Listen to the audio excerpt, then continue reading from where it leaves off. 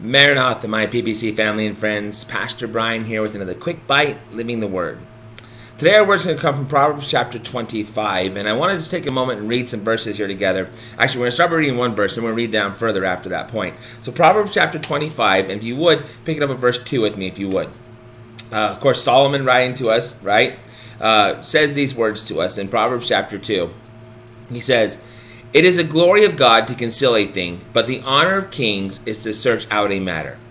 Now, what I love about this passage right here, in this verse in particular, is really this is a challenge to each one of us. We are kings and priests, right? We're told that by the Lord. He's telling us right here, brothers and sisters, that we are called to search things out. But where do we search it out? In our own wisdom, in our own understanding, in our own uh, feelings, emotions, whatever the case may be? No, we're supposed to search it out in the things where God concealed it. Well, I mean, where does He write it? Where did He put it? He hid it there in His Word. The truth is in His Word. So we're challenged to get into the Word and search it out. Find out for yourself. Why do you believe what you believe?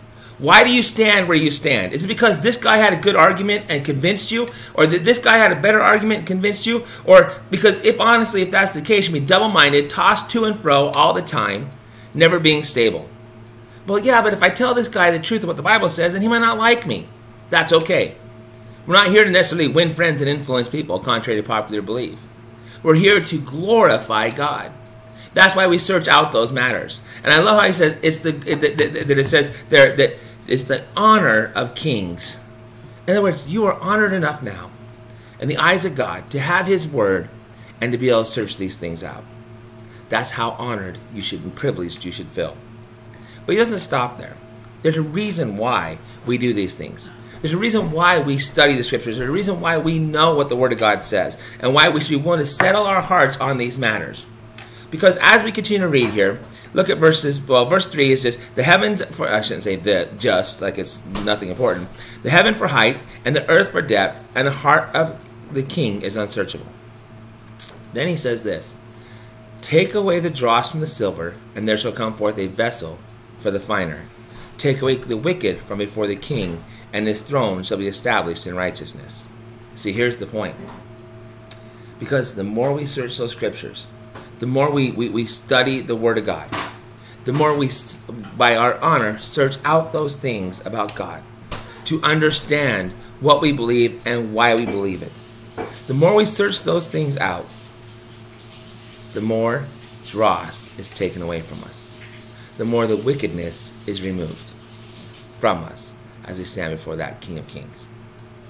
What do you mean by the dross? Well, see, in the finer in the refiner's process, they literally put heat underneath it. They make it hard, for lack of a term. They suffer.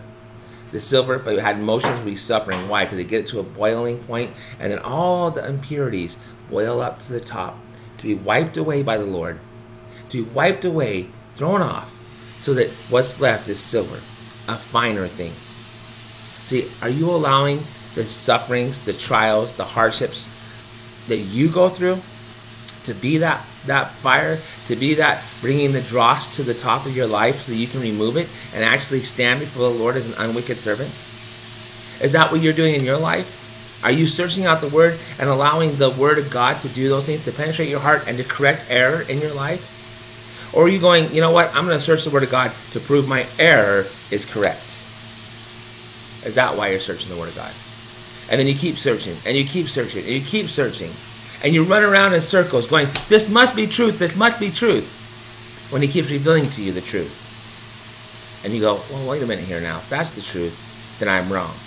Exactly. And if you're wrong, remove it from your life. Start believing the truth so that you can become finer in the eyes of the Lord, and the wickedness can be removed, and you can stand before the King in righteousness. So I hope this challenges you today. I know it challenges me. I love you. We love you. God loves you. And God's got this.